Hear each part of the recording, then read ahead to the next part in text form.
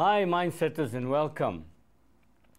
All you grade 12 learners, we are busy revising genetics and inheritance, a topic many of you love to hate. Yet, we're going to show you today that this is not a topic to hate. It's a topic where you can score marks, providing you do the homework. The homework includes learning the correct terminology and applying this terminology to solve problems as we go along. Let's see where we're going to. So what do we want to actually learn today?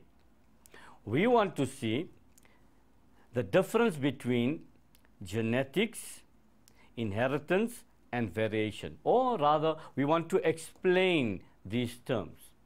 Secondly, we also want to know how to outline experiments conducted by Mendel. Now, there's two ways to do this. We can simply draw diagrams, ordinary diagrams, or we can use genetic diagrams. And I'm not going to explain all that now because we're going to talk about that as we go along. You must also be able to explain the difference between each of the following terms. And this, guys, is the basis of whatever you're going to do after this. So it's important that you understand these concepts before you attempt solving problems. These words will tell you what to do in a problem. First one is, and this is not only in genetics but in meiosis as well, chromatin and chromosomes, the difference between these two. You must also know the difference between genes and alleles, phenotype and genotype dominant and recessive alleles. You must be able to state Mendel's law of dominance. You must also know what's the difference between homozygous or pure breeding and heterozygous eh, or hybrid. You must also be able to explain what is meant by monohybrid cross and what is meant by a dihybrid cross. These are the terms that are going to guide you through your work. Without any further ado, let's see how much of these things you know already. The first question says, and taken from March 2013, paper 1, question 1, says, explain the principle of dominance. Now, this word dominance is an English word. It's not a biology word, but in this principle, it is applied in a biological sense. And it's linked to Mendel's work.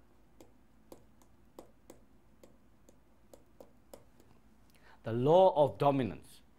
The law of dominance refers to the situation when we have two alleles together. Remember, a gene is the part or, or, or the, the, the, the, the simplest unit that controls inheritance or characteristic. That means whether you have blue eyes or brown eyes, controlled by genes, not the ones you wear, J-E-A-N-S, no, not that one, G-E-N-E-S, the ones that make you. That's the one we're talking about. This gene is made up of two alleles, generally two alleles. These alleles can be identical, they code exactly the same, or they could be different. That's where the term we spoke about earlier, homozygous and heterozygous comes in. If it's homozygous, it means the two alleles in the gene are identical. For example, they both code for blue eyes. When they are heterozygous, it means the two alleles are different from each other. One may be coding for blue eyes and one may be coding for brown eyes. I'm glad I chose eye color as an example because it can help me to explain this dominant story. So in terms of dominance, let's take the example of the eye color and the heterozygous individual. The heterozygous individual had one allele for brown eyes and one eye for uh, one uh, allele for blue eyes. When these two alleles come together, the one for brown eyes and the one for blue eyes, we say that this is the genotype of this individual. This individual is heterozygous for eye color.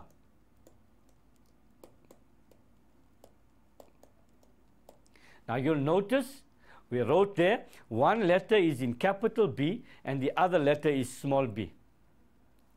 Now if you look at it, it already tells you that something is more emphasized and something is less. In this case, the capital letter is more emphasized, and this capital letter refers to the brown allele, the one that's co coding for brown eyes. And hence, in this particular example, the allele for brown eyes is dominant over the allele for blue eyes, and the individual, therefore, will have brown eyes. So what does this tell us about the law of dominance? I've used an example. Let's put it into words now.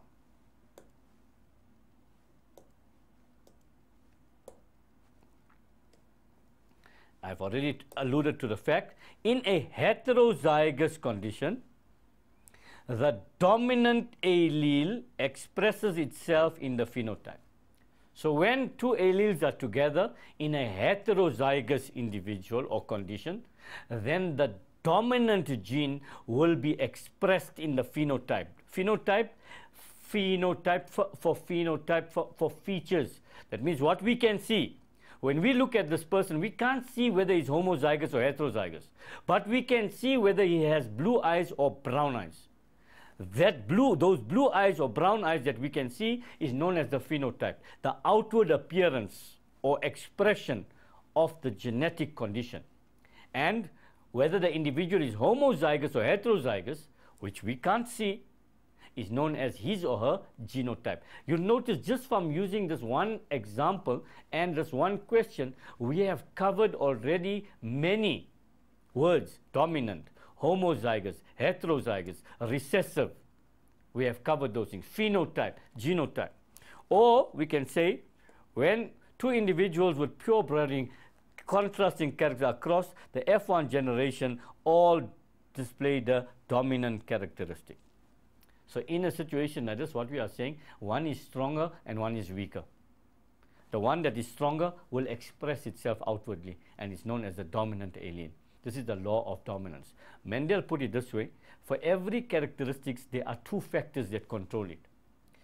When these two characters, factors are different, the one that is dominant masks or shadows the other one in expression. That means it won't show in the individual. The next law we want to know is law of segregation. What is Mendel's law of segregation? I just told you now, Mendel said that for every characteristic in an organism, it is controlled by two factors. We know from meiosis and reproduction that we don't talk about factors anymore, we talk about two alleles. And the law of segregation says that each characteristic is regulated by two alleles, that we're calling it, which separate during meiosis so that each gamete contains only one of the allele or factors. Now, what are we saying here, people? We're saying, for example, humans have 46 chromosomes.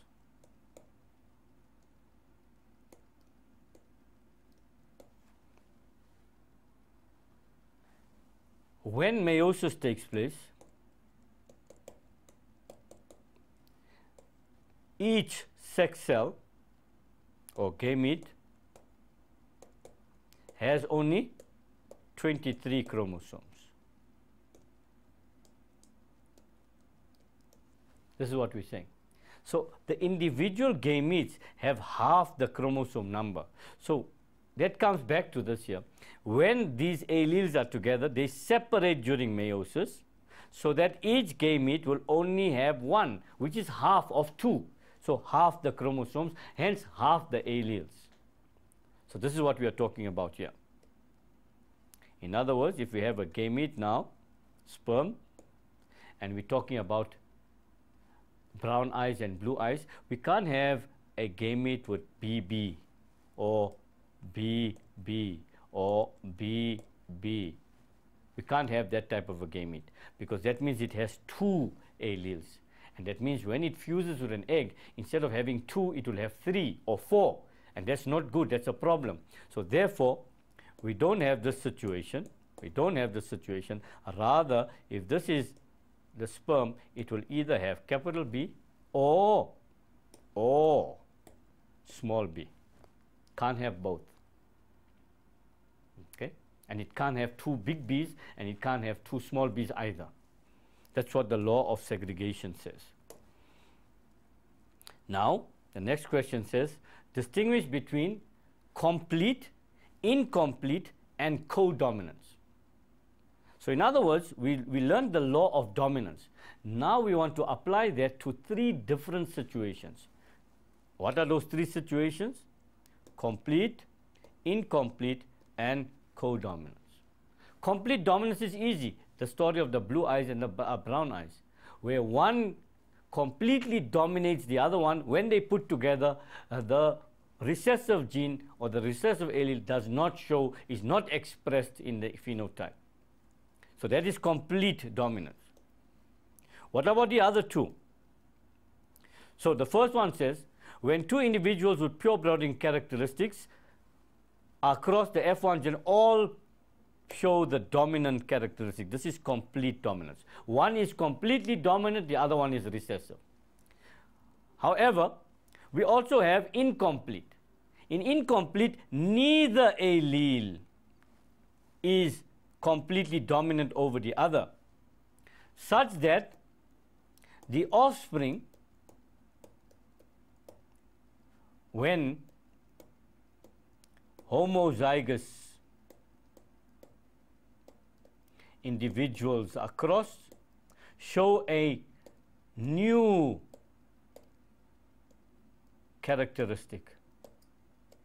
For example, we take white cows and we made them with black bulls, we find that the offspring are gray. So white and black are not dominant to each other at all. So therefore, we get an intermediate color called gray in this particular example. So two things in incomplete. Neither of the two alleles are dominant, one. And two, the resultant offspring, when the two alleles are crossed, results in an, a blend between the two characteristics. And lastly, co-dominance. Co, co-partners, you share equally. Co-dominance, both, equally, both alleles are equally dominant. And therefore, the offspring, again remember I'm not writing it, but the offspring between two homozygous of these two uh, contrasting characteristics will produce offspring that show both characteristics. And I like to use the same example. If we mated white cows, homozygous for white, and black bulls, homozygous for black, and all the individuals were black and white. In other words, white with black spots or white or black with white spots. I mean, white with black spots, sorry, or white with black spots. So that's what we are saying there. What has happened? They are equally dominant, so therefore both are showing there. A classic example of this is shown in the blood groups A and B when homozygous, a person who is homozygous for blood group A crosses with a person who is homozygous for blood group B, their offspring are all blood group AB. So that means A and B are co-dominant, hence the offspring show both of the phenotype. What's the difference between heterozygous and homozygous? We've spoken about this already. Heterozygous, when alleles are different for a particular characteristic. Example, B, B, or G, G, or R, R. They're not the same. One is coding for something and the other one is coding for something else. Of the same characteristic, but differently. Homozygous when the alleles are identical for a particular characteristic. If we're looking at R, it could have been RR, capital R, capital R, or small r, small r. Here, it would be BB, big, or BB, small. GG, big, or GG, small. These are all homozygous, oopsie. homozygous individuals. There, all of them are identical. Here you can see they're not the same, so they are heterozygous. Phenotype and genotype, I've already explained that to you earlier. For, for phenotype, for, for features, the physical outward manifestation, big word, appearance of the genes. That means we have these genes. How are they showing outwards? How do we know what they're showing? We have to look at the color of the eyes, the size of the nose, the shape of the eyes, the texture of the hair, the color of the hair, the height of the person. The genes are inside, you can't see them. But they are resulting in something that you can see. This the result is called the phenotype. The genotype is the genetic makeup, which can be either of two things homozygous, if they are identical, or heterozygous if they are different. That's all we are doing there. What is the difference between harmful, harmless, and useful mutations? Obviously, before we talk about harmful, harmless, and useful, we must be able to talk about what is a mutation. A mutation is any change either in the gene, DNA, or the nitrogenous base sequences, or in the chromosome. If it affects the genes, it's called a gene mutation. And if it affects the chromosome is called a chromosome chromosome mutation or we can say it is a chromosomal aberration. Those are the terms that we use. So if it's affecting the chromosomes, it's a chromosomal aberration. If it's affecting the gene or the DNA or the sequence of nitrogenous base, it's called a gene mutation. Now, both in both cases, we can get these three types, and this is all you need to know, one of these three. You'll notice the old papers and the old textbooks talk about fixed or rather point mutation and frame shift mutation. For your studies, you don't have to know that. You need to know harmless, harmful and useful or fixed. And they're very simple, it's English words here. I'm not going to waste your time with that. Straightforward. Harmful mutation generally will ha cause harm to the organism. Many times it is lethal or fatal. So you'll also hear the word lethal mutation. A lethal mutation causes the death of an organism. It is so harmful that it causes the death of the organism harmless as it suggests does not affect the organism at all. We also call harmless mutations, we call them neutral. Neutral, why? Because they have little or no effect on the organ. There's no benefit and there's no harm. Useful or fixed. Mutation is such that it gives an organism an advantage over others, thus favoring this organism's chance for survival. That means because this organism has a better outlook or whatever it is, what characteristic that it has, it makes this organism better than others in its surrounding. Hence, this one will survive and the others will die.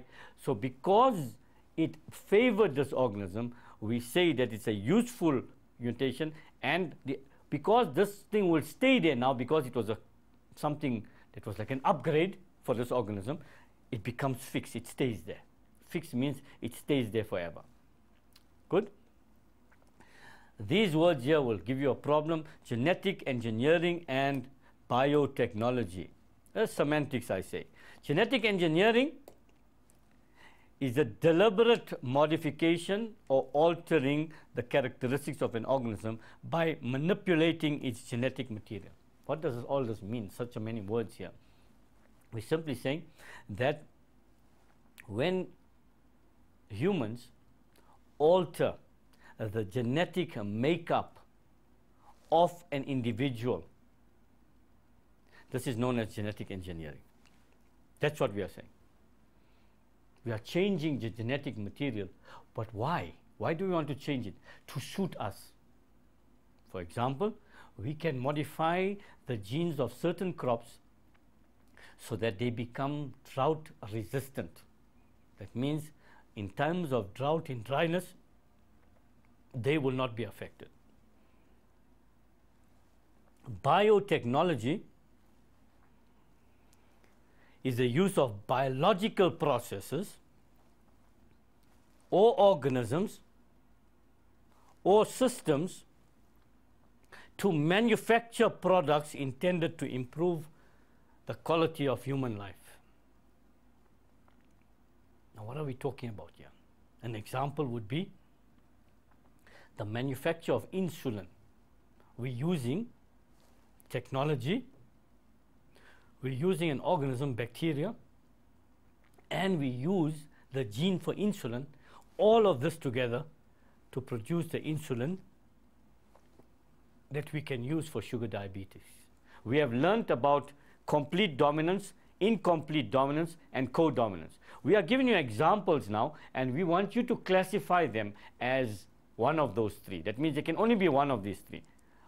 Clue is look at the results.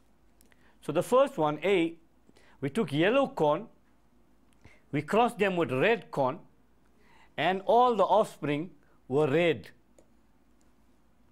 Clearly, that is an answer, or rather, that's a case of complete dominance. Why? Because one of the two colors completely dominated the other one. And our answer tells us that red is dominant over yellow in this particular example.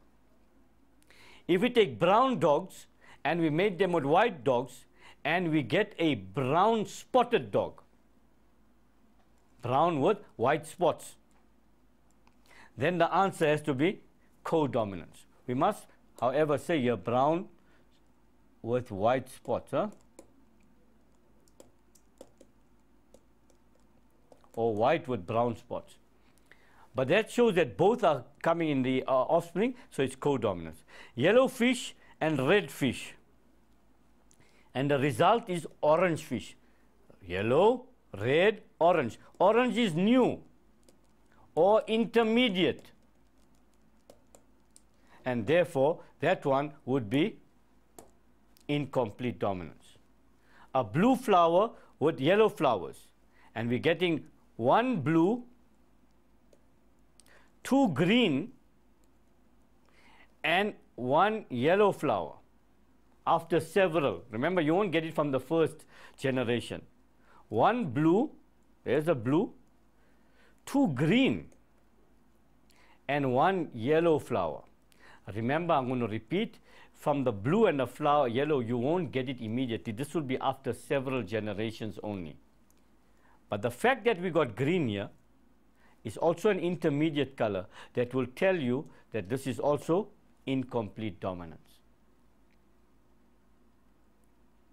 So look at those examples again. Yellow, red, red, complete. Brown, white, brown with white spots, co. Yellow, red, orange, incomplete. Blue, yellow, green, incomplete dominance. That should help you to understand the terminology, to master the terminology, so that when we go a step further, you'll be able to solve at least monohybrid problems. With that, I give you a small break where you can wet your mouth with some water and take a small break, get some tea, coffee, etc., and come back and be reinvigorated to move on with the session.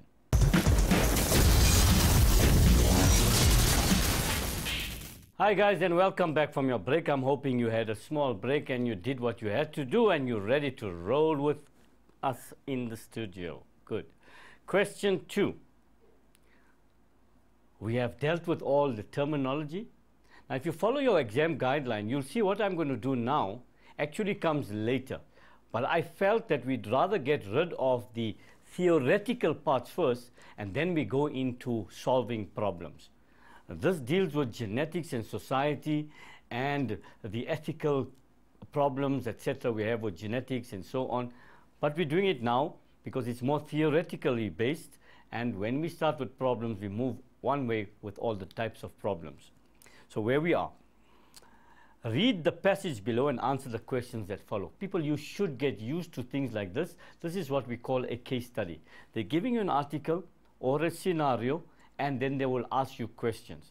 Remember, you have to read the passage carefully, underlining keywords, etc. We're going to do it once so that we do it together, and thereafter answer the questions so that you learn the skill. Let's go through it. First of all, they are talking about genetically modified pig bred with good fat. So the term that comes out is GM. And this is the section that this falls under the syllabus, genetically modified organisms. So under genetics, how can we change organisms by changing their genes, etc.? And this is where this is coming in. And at the same time, what are the advantages of this? What are the disadvantages of this? Okay. So scientists in the United States of America have produced genetically modified pigs with fat containing omega-3 fatty acids. These fatty acids, which are usually found in salmon,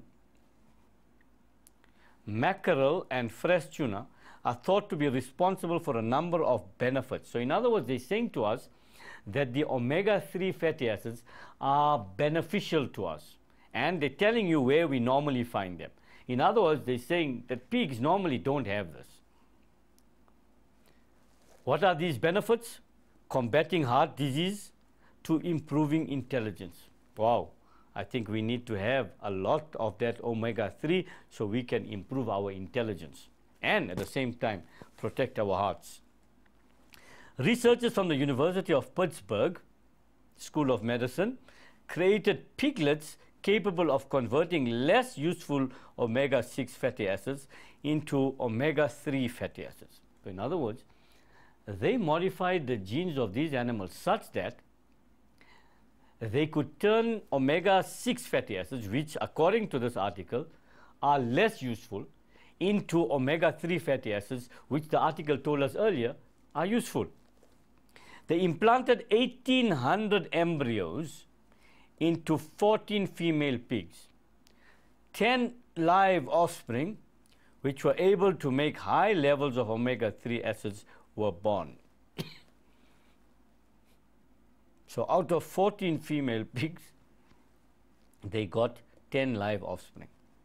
This article has been taken from a Cape Argus newspaper, 27 March 26, 2006.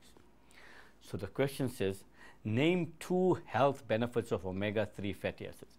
Now guys, for your syllabus, you don't have to know about omega-3 fatty acids. So when they ask you for these benefits, don't scratch your head. The answer is in the article. And we discussed that answer, so I'm not going to go back to the article. I'm just going to open the answer for you that was combating heart disease and improving intelligence. Get it from the article. If it's not in the article, that means you're supposed to have known it. And then you can scratch your head. But till then, take the answer as far as possible from the article. What percentage success did the scientists have with the implanted embryos in forming? What percentage, sorry, what percentage success, come on, with the implanted embryos in forming a clone of pigs capable of producing omega-3 fatty acids. Show all working. Remember, some of these things you can do on a calculator and you get your answer. They want to see your steps. Now, we have to go back to the article and look at the numbers. How many did we get? We got 10.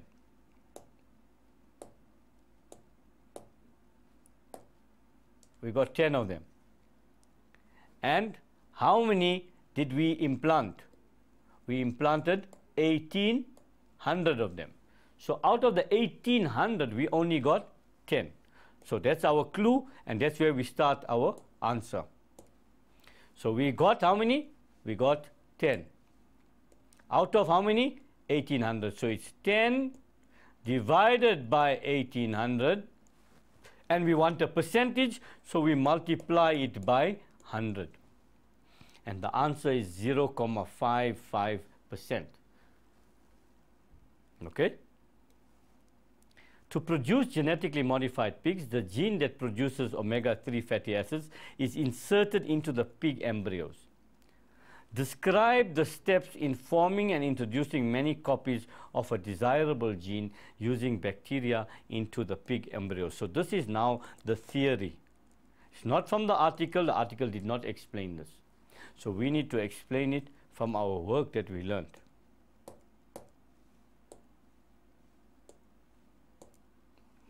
First of all, the gene responsible for producing omega-3 fatty is located, we have to find it in the DNA of salmon, fresh mackerel or tuna. We go to those organisms, we isolate that particular gene and we will then remove this gene from the donor. So we'll take a cell out. Remember, we're not going to kill the animal for this. We remove a cell in the body, we isolate that particular gene and we cut it using enzymes. And then we insert that into a plasmid. So in other words, if this was the gene, let's get colorful.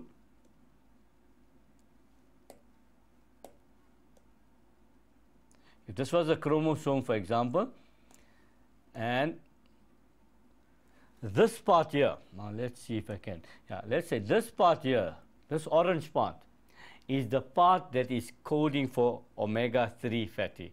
So what we're saying is that we're going to cut that part off. I'm going to do it a, a different direction. I'm going to cut the other ones out to leave that one out. So we have removed that one. And what's the next step? We put it into a plasmid of a bacterium. So the plasmid of the bacterium is a circular ring of DNA. If that was the plasmid of the bacterium, we will then cut away a portion there and in that place of that portion, we are going to add this gene that is coding for omega-3 fatty acids. That's what they're saying here now. So we put it in a plasmid of the bacterium. This bacteria then makes more bacteria. It undergoes binary fission or ordinary mitosis to make more. And mitosis is exact duplication. It means whatever it has is going to make more and more and more of that one there. Then these genes are inserted into the cells of the zygote or the embryo and in that way, when those embryos are born, they have this new gene in their makeup and they become the omega-3 friendly ones. Give two reasons why some people may support the use. Now, this is a nice question saying some people may support it. In other words, what are the advantages? That's all they want to know. And the advantages are we can get healthier for, it's healthier for humans to eat, combating heart disease. It can mass production of healthy fat, and it can improve intelligence. So these are the advantages for that. Some people may be against it, however. So that is the disadvantages. And what are those disadvantages? They are going to be general, whether you're talking of cloning, whether you're talking of genetically modifying organisms or interfering with nature in any way, there are certain fixed disadvantages or arguments against. First of all, you may get cultural objection because, say for example, myself, I can't eat anything from a pig. I can't use anything from the pig. So I'm not going to use that particular omega-3. So I got a cultural problem with that. No good for me the success rate of this particular experiment is very low, 0.55%, less than 1%. So much of money is put into it, but you're getting a success rate of less than 1%. Uh-uh, uh-uh, uh-uh. Think of something else. So it's an expensive procedure. That two go together. There's no value for vegetarians. This is also again there. The vegetarian can't eat this one any objection to eating any genetically modified organism. More than that, we are interfering with nature. You can use that as an objection. And last but not least, we do not know the long term effects of GM food. So those are some of the reasons why people may object to using genetically modified organisms. We move on to question 2.2. Cow's milk is different from human milk. Obvious. That's obvious, yes? Cow's milk should not be given to young human babies. When the baby is born in the infancy, it is not healthy to give that particular child directly undiluted cow milk. Hence, you'll notice the child will either be breastfed or the child will be using some form of powder milk. Scientists in China have genetically engineered cows to produce human milk. Wow. Milk from these cows can be given to very young human babies directly. First question, and something we've answered already what is genetic engineering? Genetic engineering is the deliberate modification or altering of the characteristics of an organism by changing its genetic material, by interfering with its genetic material. Suggests the reason why some people are worried about using milk from genetically engineered cows to feed human babies.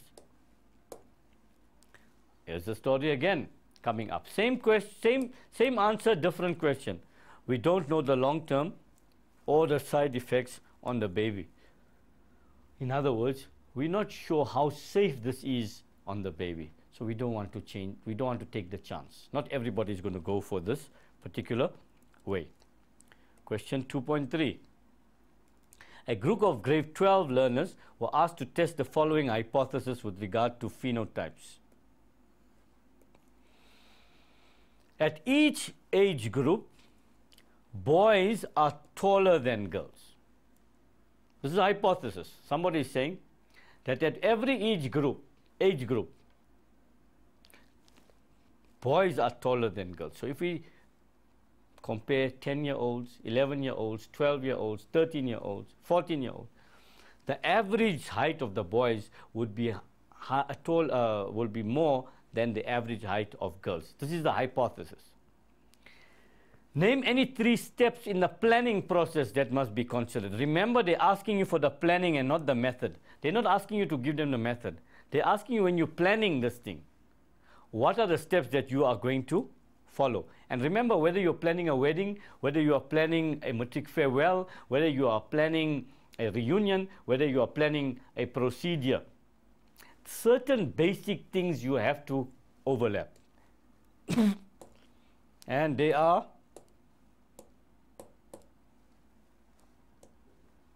First of all, we must determine a sample size that would be large enough and manageable. We must decide, if we want to do this thing, how many people are we going to use? We must also determine who are we going to use, where are we going to do this. Keep the number of boys and girls the same for each group. We must also, again here, determine time, venue, and date. When are we going to do that? Design a table to record the results. Before we go there, how we must first of all decide on how we're going to record the results. Or how are we going to gather the information? Set up accurate measuring equipment. That means if you want to measure height, how can you plan that when you come there now you don't have anything to measure the height? What are we going to use? Fingers, rulers. We can't. It can take too long and it's inaccurate. Determine the time span of the investigation. Generally, we must finish this investigation in a short time, mustn't waste too much time. Maintain the same nutritional status, same socio-economic backgrounds. And keep the conditions in the sample all the same. So these are some of the planning. Also, we would add here, we must get permission. We can't just go and do an investigation in the school without getting permission. Must get permission. And then we can carry on with this. Can you see there's lots of things that you, you're doing normally. The results of the learner's investigation are shown in the graph below. There's the results now. They're showing you a graph, the age as the independent variable, the average height in centimeters on the dependent variable. And notice they started here at 130. They didn't start at 0 and they started here at 10. They have license to do that. If you're doing an experiment or you're doing a graph, you don't do that unless you show it properly. So the yellow is the girls and the white is the boys. So they're showing you there what's happening with the graph. Okay. At what age is the average age height, average height of the boys and girls the same? Obviously, you have to look at this graph and look at the point where the two lines cross each other. And in this particular graph, that is here. And that's going to come down there between 13 and 14. If that's 12 and that's 14, that would be 13. So between 13 and 14 years is where the average height of the boys and the girls is the same. Right? If you want to be more accurate, 13,4 to 13,6. It somewhere there. In fact, I wouldn't even give a mark for 13,4. We've given a range, but I wouldn't give a mark for 13.4 because it's clearly after the halfway mark. It's actually between 13,6 and 13,8 I would give the mark for. Provide a caption for the graph. Notice this graph did not have a caption. That's something that you learners do very often. When you are given a graph, you must have a caption. The caption must have both variables.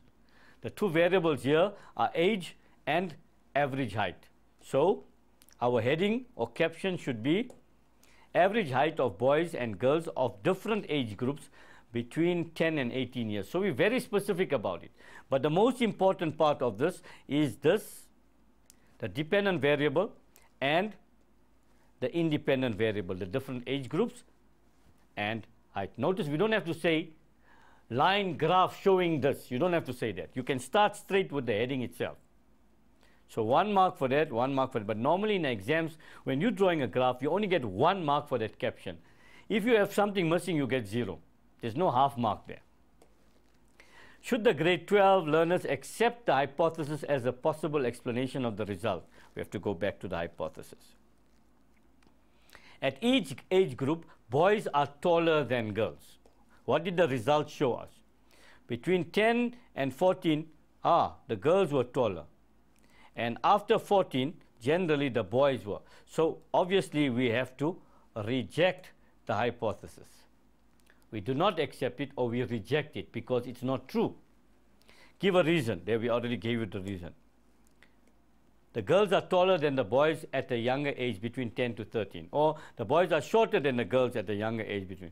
The boys are not taller than the girls at all age groups. These are your possible answers that you could have given. The whole idea is that it does not support, the evidence does not support the hypothesis.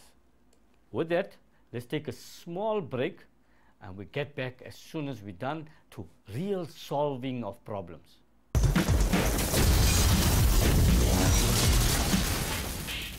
Hi Mindsetters, welcome back. I'm hoping you sorted your lives out. You run to the toilet, wherever you wanted to go. You're back now and you are giving us your 100% attention. We are now busy with question three and as I promised you, we are working our appetite towards solving problems. And that brings us to question three a very, very, very, very, very, very, very, very basic question on solving problems. The diagram below, again, do homework. When you're answering genetic problems, always do your homework properly. The diagram below shows a crossing between homozygous black mouse and a homozygous white mouse. The F1 generation was all black. What does that tell you? That black is dominant. Black is dominant. Homework. And if this was homozygous black, that means that would have been that. And if this was homozygous white, this could have been that. Because they are homozygous and because that's recessive, we use small letter. For that one, we use capital letters. So they give you a drawing just to show you also. There's the male, white, female, black. And, oh, where are we here? All right. And we say, what's this one now? But it, it, it can, can get confusing. So telling you here, there's the white mouse here, and the female is black, and all the offspring are white. Use the symbol B and B for the alleles of fur color and show diagrammatically a genetic cross between the original black male and white female and between mouse 1 and mouse 3 to show the possible genotypes and phenotypes F1 and F2. All right.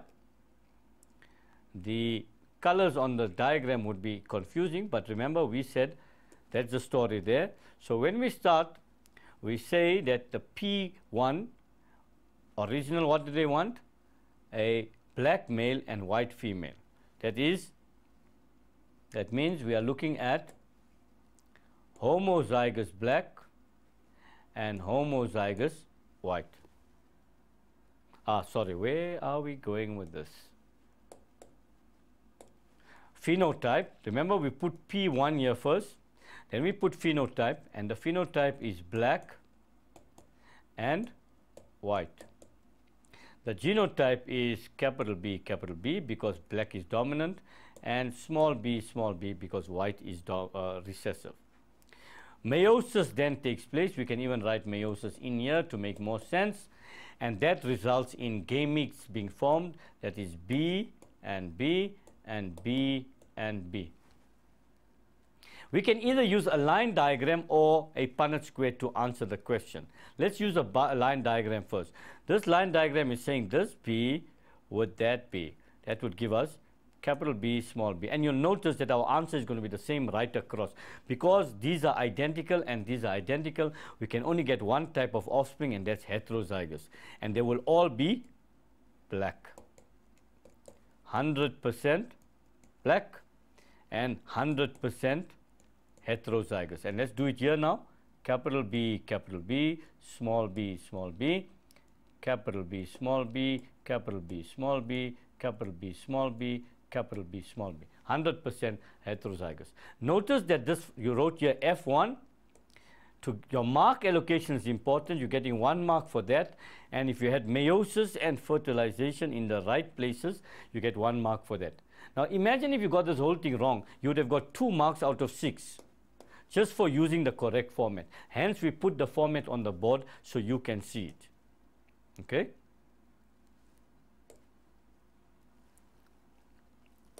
If we want to then obviously go one step further, let's just take out Thabo and Octavia there. I don't know where they came from. Okay? There's no Thabo and Octavia. We didn't name our rats. Now they said take the offspring. And the offspring are black. And another one is black. Now we must change this also to P2 because we're looking at the next generation. Our phenotype is black. Our genotype now are heterozygous because we're taking the offspring. Wait, don't make it an H. If meiosis takes place, we're going to do the same thing. B, B, and B, B, B separating. I'm not doing the line diagram. I'm only doing the Punnett square. B, small b, capital B, small b. That and that gives us two capital B's. That and that gives us capital B, small b. That and that gives us small b, big B. Remember, we can write this as B, B or B, B. It doesn't make a difference. It's still heterozygous. And the last one is small b, small b. So now, our genotype is B, B, B, B, B, B, and small b, small b. So look at what we got here. We got one homozygous dominant is to two heterozygous is to one homozygous recessive. And our phenotype is 1, 2, 3. Why? Because of the law of dominance. This is black. This is black because when the big one is there, the small one can't show. So that is 3 black is to 1 white or 75% black is to 25% white. Notice when we take two homozygous, all will be heterozygous. But when we take two heterozygous, we will always get 1 is to 2 is to 1 and 3 is to 1 uh, phenotype. Good. Let me go back there. I want you to see the format, people, guys. Just have a look at that format. You need to look at that format so that you understand what's happening. Good. Let's move on. Clones are a group of genetically identical organisms. Explain three advantages and three disadvantages. Explain. The word is explain. Three advantages, three disadvantages with reasons of cloning. It's a straightforward question, and I told you, I spoke about it earlier, that this question is asked often. And the answer is normally the same. First of all, advantages. Producing individuals with desired traits. That's why we do it and or to eliminate unwanted characteristics. Better yield, we want more quickly, so we get clones, it gets better so that we can get more food. We can link this to food security and environment. We can, we can make clones of organisms that are resistant to diseases to save on the use of pesticides and herbicides.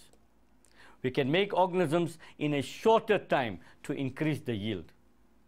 We can save endangered species if some organism is endangered, we make clones so that organism won't become extinct.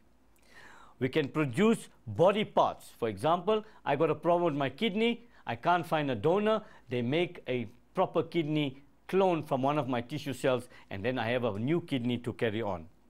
Produce offspring for organisms that are infertile. You cannot have offspring, so they create a clone from one of the two parents, and you have a baby. Reproduction is not seasonally dependent. That means reproduction can take place all the time. Disadvantages, again, you're getting your objection by religious or culture. We also, more biologically now, we reduce the gene pool. Why? Because we're creating organs that have an advantage and the normal varieties will disappear eventually. Clone organisms may have developmental, morphological problems and not survive long. We don't know just yet. It can be costly, so not everybody can afford it. May generate experimental waste causing ethical issues around disposal of waste. May also lead to killing of clones to obtain body parts. If we take it further in the human sphere, organisms that have, uh, uh, humans that have criminal minds can use it for their criminal activities. The last question then, the ability to roll your tongue to form a tube is passed on from parents to the children. The inability to roll a tongue is a recessive trait. So if you have the ability to roll your tongue, you are, it's a dominant one. And the inability is a recessive trait. Thabo can roll his tongue, but his wife Octavia cannot. They have four children. The two boys, Keketso and Bongani, can roll their tongues. The two girls, Kwake, Kawekazi and Bongiwe, cannot. Use T to represent the character of the tongue for rolling and T for the inability of the uh, to roll a tongue. Use a genetic cross to supply the genotypes of all the parents, Bongani and Kawakazi. Show all your working. So we started off with Thabo and Octavia. Thabo can roll his tongue. So that means Thabo must have at least one of the dominant gene. Octavia, on the other hand, cannot. And what do they tell you about that? Inability is a recessive. And to be recessive, you must have both the two alleles. Now, what did they have? They had children. The two boys, Kakeshki and Bongani, can roll their tongue, and the two girls, Kawekazi and Bongiwe, cannot. So that means they had children that could not roll their tongue. What does that tell you about Thabo? Thabo had to have the small t because the children could have only inherited two t's, one from each parent. So that's our starting point. And when meiosis takes place, we'll have that and that and two small t's there. And we go here to the Punnett square, capital T, small t, small t, small t. Why is this one small t, small t? Because it's a recessive characteristic. The minute there's a capital T, that means the person can roll the tongue. If they don't have that capital T, that means they can't roll their tongue. And hence we will have capital D, capital T, small t, capital T, small t, small t, small t, small t, small t. This will explain why some of the children cannot roll their tongues while other children can roll their tongues. Although in this example, they gave you a 50%, 50%, just like the result, it doesn't mean that if this situation was the case, then half of our children will be able to roll their tongue and half won't. It simply means every time fertilization takes place, there's a 50% chance of having a child who would be able to roll their tongue and a 50% chance of a child who would not be able to roll their tongue. Don't ever think that this is the first child, that's the second child, that's the third child, and that's the fourth child. It means every time fertilization takes place, these are the probabilities of the results that are going to show themselves in the offspring. I'm hoping mindset is that I have helped you to understand how to solve problems and also to deal with theoretical problems. With that, goodbye and good luck in learning genetics.